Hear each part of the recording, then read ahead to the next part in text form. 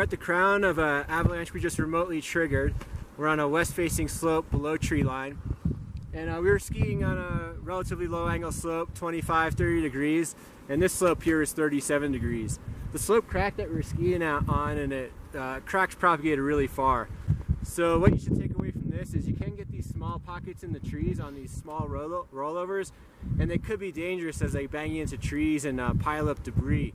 Also, if you're on bigger slopes, the avalanches can be much larger and they're, they're breaking at the ground on the sugary snow. This is a west-facing slope. Um, so you can imagine north and the shady slopes of a similar or worse structure. This avalanche pictured occurred on Wednesday in the East Vail area on an easterly facing slope. It started in storm snow and stepped down to more deeply buried weak layers below the cliffs. It was large enough to bury a person. Other large avalanches released naturally on either Tuesday or Wednesday on easterly facing slopes in the Gore Range. This avalanche broke at the ground and was over a thousand feet wide as it wrapped around terrain features. The avalanche danger today is moderate in the Vail and Summit County zone. Human-triggered avalanches are possible at a moderate danger. Be aware that you're most likely to trigger an avalanche around the Vail area.